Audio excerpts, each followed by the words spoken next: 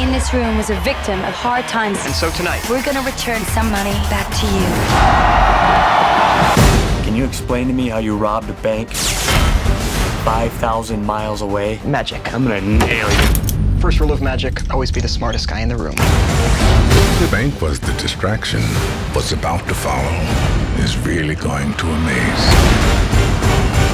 Now you see me. Locked. Nothing's ever locked.